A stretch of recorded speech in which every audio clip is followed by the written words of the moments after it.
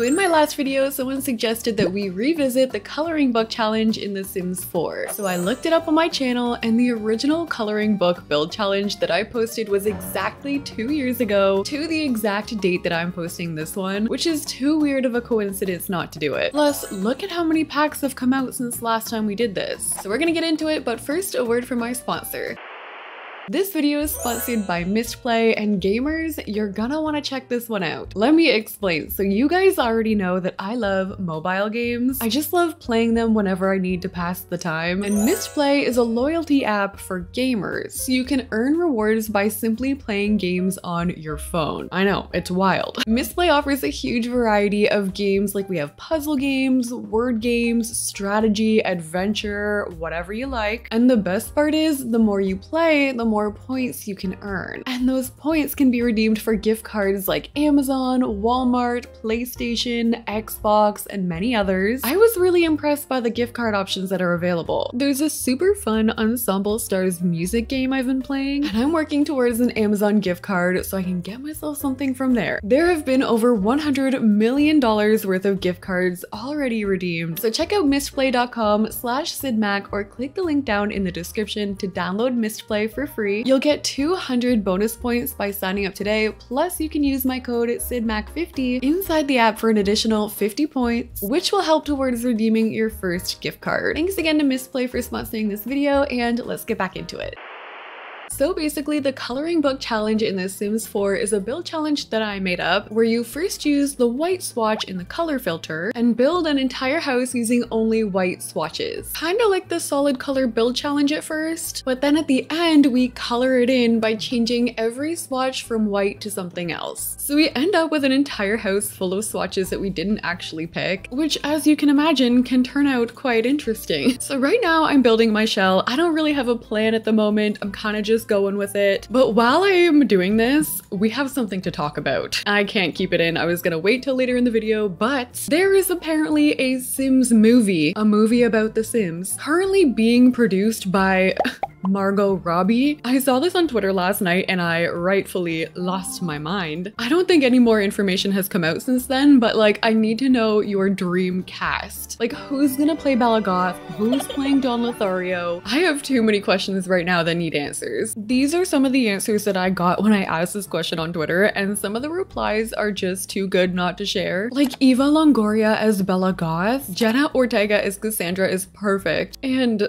Sarah's idea. But let me know what your dream cast for a Sims movie would be in the comments down below. Okay, I've played around with my shell a little bit more. We've got these two pillars at the front, which I feel like turning into fountains. So I'm starting off by adding white eco lifestyle windows all the way around these. We're gonna get a pool in the middle, and I'm gonna add these fountains right there in the center. I'm also paging down and changing even the tiles inside the pool to white. I'm gonna use some white foundation paint from Horse Ranch, and I don't think our roofing is gonna be too crazy today, but I'm taking two gabled roof pieces and we're gonna copy and flip them. So they're just together like that. And then I'm taking an octagonal roof piece and we're gonna squeeze that right onto the center here. I actually just added a smaller roof piece going along the left side there. And let's see what we have for roof paint. I kind of don't hate this one here. Oh, and we could use some white for rent trim. For wallpaper outside, I'm using this siding here from Cats and Dogs. But for my chimney, I'm gonna use this brick here from Cottage Living. I think for all of my balconies, I'm to use this white fence here from Discovery University. And now for windows and doors. I feel like I want to go fancy with this one. So I was thinking about something extravagant like something like that from Get Famous. Where did my windows go? For windows in the back, I think I'm to use these ones from the Romantic Garden stuff pack. And I'm really considering Strangerville for the rest. I changed my mind. I hate this door right now. I think I've been looking at it for too long, which says a lot because it's only been like five minutes. Do I like the front roofing better like this? And then we could put like a, a window box there or something. We get some white trim going around, some white like stone flooring, and maybe some stairs. I love this fence so much, but there's no matching railing to it, which drives me a little crazy. So what I like to do is just like bring the wall out a little with the foundation. It's not the same as a railing, but then at least like it matches. And for the decks, I think I'm just gonna use some cats and dogs wood. For the backyard, I'm bringing this tile out out and I'm thinking about just carving out a spot for like seating. And then I'm a little worried about landscaping because we have a few options, but it's really not a whole lot. So I'm thinking about using some fencing to make it look a little more interesting. This one from Get Together is one of my favorites. Oh, we have this white tree from Cats and Dogs. We can size that up and maybe put it in the backyard. And then like, they're not under the swatches, but do those trees over there count? They're looking pretty white to me. I think they get the pass. We're gonna let that one slide. And then for the rest of the landscaping, I'm gonna use these here. These flowers are from the Romantic Garden stuff. We've also got some base game hedges we can use. Oh, these are super pretty too from Cats and Dogs. When we can use these too, these are under the white swatch. I'm gonna add these in here just for a little something extra on the house. So this is how our all white house turned out so far. I added in a ton of water features on this house. So we have two fountains right at the front and of course the fountains that we added in these columns. I'm so excited to see how this is gonna turn out once it's fully colored in. And then going over to the back, I made a really cute backyard space with a dining table. We have another fountain in the back there. That one is from Realm of Magic and I also added these here from my wedding stories. We've got the champagne here. We also have a fountain. There's a barbecue, some gardening space, and I also included a bee box over to the right. I also did make a layout for today. So both floors are gonna have one bedroom, one bath, and then an open space where we can do kitchen, living room, and an extra space for hobbies. So getting my white color filter back on, I'm going to find a wallpaper, and I was thinking about using this one here from Modern Luxe. For my flooring, I'm going to use this one from Eco Lifestyle. I know we're going to have good swatch options with that, and I'm bringing that upstairs as well. Let's start off with our kitchen essentials. So I'm going to be using this fridge here from the Home Chef Hustle Pack. I'm also going to be using the matching counters, and I also have a space over here, which I think I'm going to add counters there as well. We could do my sink here, our oven there, and I should have room for another counter space here as well. Maybe just a smaller one. We may as well stick with the matching cabinets. I've got my smoke detector up there and I always forget to include a thermostat in my builds until I go into gameplay and my poor sims are freezing. So we're gonna add one of those there. We'll squeeze a trash can right here. And I think over here, I wanna leave one counter for prep, but I think another small appliance could work, like maybe a waffle maker. We could be super efficient and include a dishwasher. I'm adding some lights in here and I do need to be careful because since we are using all white, it can get way too bright in here very quickly. So I'm just using these wall lights here from from Spa Day. We're adding sheer curtains in here for the ambiance. And honestly, I feel like we could fit a small table in here still. We do have a massive table outside if Sims did want to eat out there. Oh, we could put it by the window. That would be so cute. Maybe it's just a couple that lives here and if they host, they sit outside. And then for clutter, I'm just trying to find some little things I can put in that corner there. I'm also adding a mirror over this little spot here. And we actually have way more room than I expected. So I'm just adding a bigger table right in the center I'm also adding in these lights. These are from Vintage Glamour and our kitchen is all complete. I'm so happy we fit that dining room in here. Let's go and do the living room next. I have brought in this rug from Werewolves and we do also have space upstairs. So I don't think I'm gonna put a TV here. Instead, I think I might put a white cottage living couch, possibly with a Modern Luxe chair here in the corner. Actually, I think it would fit a lot better if we did Modern Luxe chairs instead of the couch with like a nice lamp on there. And maybe we try and use one of the new Crystal Creations lamps. This wall is going to be the first thing you see when you walk in. So I really want to put something like a picture or even just like one of these. What if we try this wall decor from Dream Home Decorator? So we have a reading area right there. And then over this way, this is where the washroom is. So I was thinking this would be a perfect spot for laundry. I'm actually going to carve it out like this. We'll do spandrels in between. And I was thinking about adding curtains to kind of section it off. So like our curtains will be right there and Sims can walk through them. I've done this before. This way our laundry area is gonna look a little bit better and maybe I'll just put a hamper behind the curtain. I wish I had curtains hiding my laundry. we'll do full body mirror right here and we'll do a small plant here in the corner. I added a cute table here at the end of my hallway with some cottage living flowers, just some decor there and let's go do the bathroom. For my flooring, I'm gonna use this one from Growing Together, but I'm also gonna take this Home Chef Hustle flooring and put it in my kitchen just to like switch switch it up a little in there. And then for my tiles in here, let's just keep it consistent with the growing together tile. I knew we would be able to fit a shower in this nook. And then we could use a base game sink along that wall with a mirror. And then we'll be able to just hide our toilet in that nook there. I feel like I could also fit a full body mirror in here. This bathroom is like the most awkward shape ever. And I'm gonna change the curtains I'm using to these ones from base game. So we still get the light coming in, but the curtains are still there. And in this corner, we could also put a laundry hamper. So this is going to be our first bathroom. And now I think we can go and do the first bedroom. I think before I do the wallpaper, I'm gonna pick a bed. This one totally matches the aesthetic that I'm going for. So I'm gonna use that one. I might use this wallpaper from Dream Home Decorator. I'm scared of the pattern ones though. Like I feel like that could easily bite me. And also I'm getting the vibe that this is a guest room. So I'm adding a couple tables beside the bed. I'm also adding in our transparent curtains. We need a rug under the bed. For the dresser, I'm thinking this one from Cottage Living. We'll add some clutter on there. And I think I'm gonna add a TV here since I haven't added one in the house yet. We could maybe do some shelving underneath. I actually really like these jewelry holders that come with the crystal stuff pack. So I'm adding those and I'm also gonna add one of the display boxes here as well. I keep finding things that won't work for my bedroom, but I wanna add into the build. So random things are just getting tossed upstairs. I have room for an end table here in this corner and I could probably squeeze this dresser over and fit a hamper right there as well. I think I might add a knitting basket. I'm getting like elderly vibes from this room a little bit. This could be like an older parent's bedroom or this sim seems pretty extra. Maybe they have a maid and the maid is a little bit older. I don't know. But this is going to be our first bedroom, our guest bedroom. We've got the TV in here, some jewelry stuff, a little bit of clutter going on on the dresser, but not too much. And then going upstairs, this could be where we do our actual living room. So we could have a fireplace here,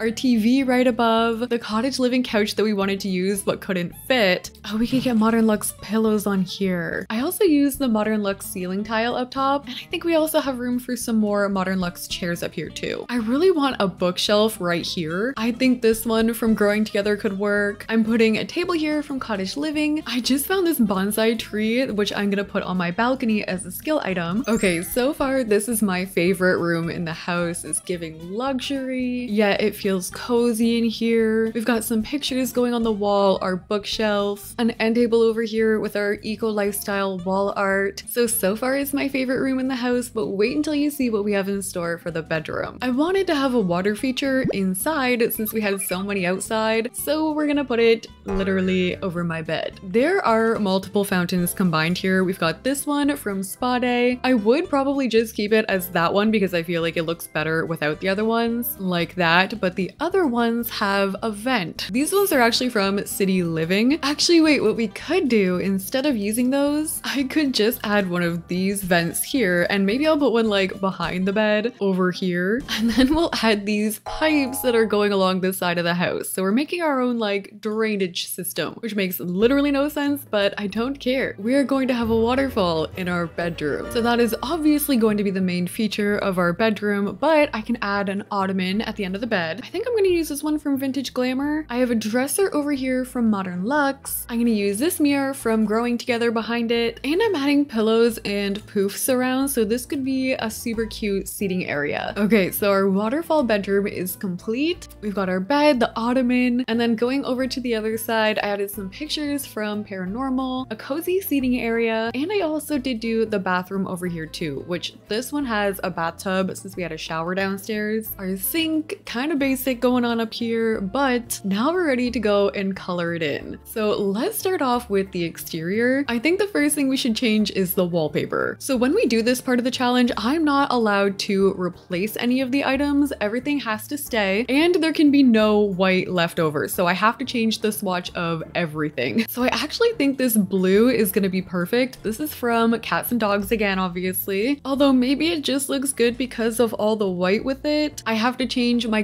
cottage living wallpaper. Maybe we change it to this gray swatch. Let's do the roof paint. Roof paint options. Okay, we could do this gray. I'm sure For Rent has a gray swatch. Oh, it doesn't. We could do dark brown though, I guess. Let's see about everything else. Like these can be brown. The corbellers, there's so many little things I don't want to miss. The lights, we're gonna have brown. How about the door? Okay, It can work. My chairs, I'm tempted to do the grilled cheese swatch for it. What about the flooring here? Oh, we could do brown. Wait, this is gonna be cute. I'm changing the flooring on all of my balconies to that brown color. How about the Strangerville windows? Yes. Oh, we did good, I think. So far, I don't wanna get ahead of myself. For the Discovery University swatch, I'm gonna do gray so it matches my chimney. So we'll change over all of the fencing. We have to change over the trim. The trim didn't really give us the best match, but we're only halfway through. So let's keep changing our windows and everything. I have columns right here at the front we can change. I'm even gonna change my fountain color to like blue, I guess. I was a little worried about these windows down here from Romantic Garden, but I think we can pull them off. It's weird because everything matches like for the most part, but so far it's just like slightly off. I'm changing all of these plants over. I think I might go with a yellow. I feel like that'll look good against the blue that we added. Changing over our barbecue. I feel like everything so far has had like a nice brown or gray swatch that we can change it to, except for these flowers. I kind of forgot that the only other swatches are red or purple. I mean, purple and yellow are contrasting colors. I think we could also go a little lighter with our dining table. Oh yeah, the foundation paint. What do we have here? Ooh, okay, that's gonna have to work. This challenge is so satisfying watching all of the color come in. I remember having so much fun the last time I did this, so I'm glad we are revisiting it. It's also really great if you do struggle with color because you kind of forget that you're doing the challenge at first until it's time to add it all back in, and then you don't have a choice on what you pick, but it's gonna be colorful. I don't think I've ever changed this swatch over to green before, and we still have to change this flooring, which is definitely like a little strange. Did we get everything back here? I think we did. Oh, there's these flowers along the back too, and all of the landscaping at the front. All right, I think we got it all, unless there's like a sneaky window that I have missed or something. I even changed the swatch of this tree, which honestly didn't do anything to the white part, and the only thing that I didn't change are things that you can't use the design tool on. So like there are no swatches for these little white plants, but there we go. This is what the front is looking like all colored in. And here we have the back. Now we get to go inside and change all the swatches there. It's definitely already looking a little bit different with all of the windows and doors changed. But let's start off here with our living room. We're gonna change the wallpaper and I know we have a gray for Modern Luxe. We also do have a brown, which isn't my favorite swatch. Maybe I'll try the gray for now. I'm changing my flooring for eco lifestyle and I guess we're gonna bring the gray wallpaper all the way through the house. Okay, let's change our bookshelf. I do want to keep everything like brown, I think. What about the werewolves rug? Ooh, I don't know. We'll come back to it. Chairs, we could go black. And my table has this like brown swatch underneath. For our wall art, ooh, this is getting hard. We have to change the rug. Maybe the dark is the best. What if we went all black actually with the wallpaper? I still have to change my door here and my lights, my plants. I think maybe with a better table in the middle there, it would have turned out a little better. But it's not bad. I'm not a fan of like the all white in the first place. So to me, this is definitely an improvement, but I'm curious to see which side you guys end up liking better. Like the all white version or are you liking the colored in version more? We need to change our hallway over here. There we go. And let's go do the kitchen next. So for flooring, I think maybe I should do black flooring. What color should we do for our cabinets? I mean, we do have a brown. I guess we could change that over. And then all of our clutter is gonna have to change as well. Interesting. We need to do our dining table and chairs. I don't really have the best swatches that I like for these chairs, but there is a shade of brown in the fridge somehow too. So we could do these. And for my rug, I guess it's gonna have to be brown. For my dishwasher over here, I'm going with black. We need to change my stairs. And there we go. We've got our kitchen complete. There are so many different shades of brown happening in here, but somehow they're all working together for the most part. Oh, the lantern. Okay, we got it. And now for this bathroom, I know I like this wallpaper and there's obviously matching flooring. Maybe we'll bring in a green rug in here. Should I do green curtains? We'll change up our color palette a little bit if possible. Oh no, I forgot we're gonna have to change the toilet. Okay, I guess it's gonna be uh, yellow. I mean, I like the brown and green swatches, but then you turn the corner and the yellow comes in and I don't know how to feel anymore. But there's our first bathroom. And for the guest bedroom, I totally forgot that this wallpaper might be a little questionable. We do have a dark swatch. Oh, the bed could be this green color. I really like that. And then we can try and match everything else to that. We could do the orange rug. There's also a brown one if we had to. Let's see, we'll match my table the flowers, the vase. Oh, this room is actually gonna be cute. My shelves and everything here. And then obviously our dresser is gonna change too. That hamper matches so well to my bed. This one turned out really fun. I'm glad that this bed turned out. I totally forgot about that swatch, but I like how it matches my knitting basket over there. But let's go see how the upstairs turns out. Okay, let's start by changing the couch color. And now that I saw that bed downstairs, I think I want to bring that same color scheme up here if we can. We're gonna do the brown modern luxe chairs with the blue cottage living couch. Oh no, this rug. The rug we might have to change a couple times. This mirror can match. This is getting tricky. Okay, we've changed the wall art over there. My plant, the lamp here. All of these are so silly and meant for like the kitchen, I feel. But we're gonna have a llama picture. And then for the bookshelf, we're just gonna try and match everything else going on. Oh, we cannot forget about this ceiling paint. Do I want to do black? I think we should do brown up top. So this is how our colored in living room turned out. I'm loving this. I love the color palette. Yes, it is a little bit off in some places, but isn't everybody's house? I feel like the colors worked the best up here so far. So I'm excited to bring that blue into the bedroom. Oh no, I use the Oasis Courtyard wallpaper in here and the swatches don't really match what I was going for. The closest I guess we could use is this orange. We'll change the color of the wallpaper and the bed. I thought this one was gonna be easier. I did not expect orange. Okay, it's fine. This is like the opposite of what I had in mind for this room. Maybe we try this blue instead and we'll change the dresser area over here. This bedroom has been our downfall for sure. It's 100% the wallpaper I picked. I'm actually, the yellow might be our best bet. So many of these swatches on here have white flowers. I swear I'm changing it, but this is how our bedroom turned out. I had such high hopes for this one and it's fine. We have a waterfall. For the final room we're gonna do, we're just gonna change everything over. Again, I use the same toilet as downstairs, so I guess it's gonna be black this time. We're even changing the toilet paper, the sinks. There is a blue swatch for the flooring. Ooh, I'm not a fan of the dark swatches for this wallpaper in here. And also the blue isn't working. I'm just gonna do black flooring. So this is how our color swatch coloring book challenge turned out in The Sims 4. Let me know what you guys liked better. Did you like the all white? Are you into the more colorful side? This was a super fun challenge to try. So if you guys have any more build challenges you want to see me do in The Sims 4, let me know in the comment section down below. And if you like the video, don't forget to like, comment, and subscribe. Thank you guys so much for watching and I'll see you in the next one.